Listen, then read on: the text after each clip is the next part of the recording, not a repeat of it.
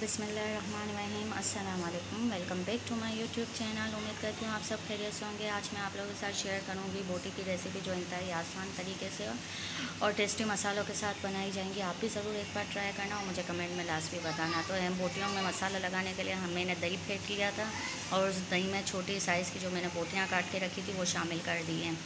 अब हम इसमें जो मसाले ऐड करेंगे, वो मैं आपको बताती चलूँ। तो हमने मसाले के बोटियों में मसाले लगाने के लिए लिया शान का टिक्का मसाला और लहसुन अदरक का पेस्ट लिया है। दो चम्मच कुटी हुई लाल मिर्च ली है। एक चम्मच खिचड़ी पाउडर लिया है और एक चम्मच पिसा हुआ गरम मसाला लिया है। ठीक है? अब हम इसमें ये ऐड कर लेंगे। अब हम इसमें ये मसाले जो मैंने आपको बताए वो डाल देंगे। और मैंने इसमें ये मसाला भी ऐड करूँगी। आप भी देख लें अगर आप ऐड करना चाहें तो कर लें, नहीं तो फिर ज़रूरी नहीं है। ये सिर्फ़ मैं टेस्ट के लिए इसमें शामिल कर रही हूँ ताकि इन बोटियों का टेस्ट अच्छा हो जाए। अब हम इसे अच्छी तरीके से चलाएँगे। ये देखें, मसाले को हमने अच्छी तरीके से मैरिनेट कर दिया है। गोश्त पे अच्छी तरीके से मसाला लग चुका है। अब हम इसे दो से तीन घंटे फ्रीज़ कर लेंगे। यह हमने गोश्त की बोटियों में बनाया। आप चाहें तो चिकन में भी इसे बना सकते हैं। और जितनी देर आप रखेंगे तो उससे मसालों का टेस्ट अच्छा आता है। तो चलिए अब हम इसे रख देते हैं। दो से तीन घंटे फ्रीज़ करने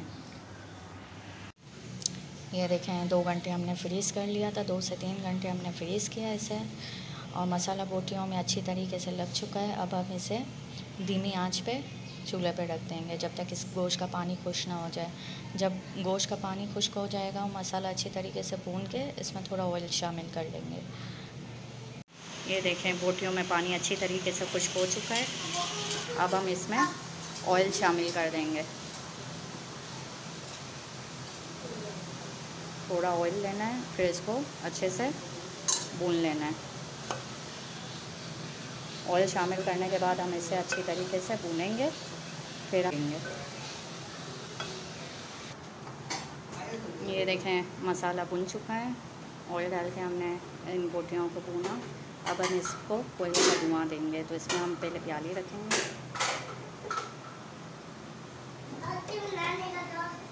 फिर हम इसमें ऐड कर लेंगे कोयला। और इसे ऊपर से थोड़ा ऑयल डाल देंगे। अब हम इसे अब हमने इसे ढक्कन दे दिया है ताकि कोयले का धुआँ अच्छी तरीके से इस पर हो जाए। फिर हम इसे सर्व करेंगे।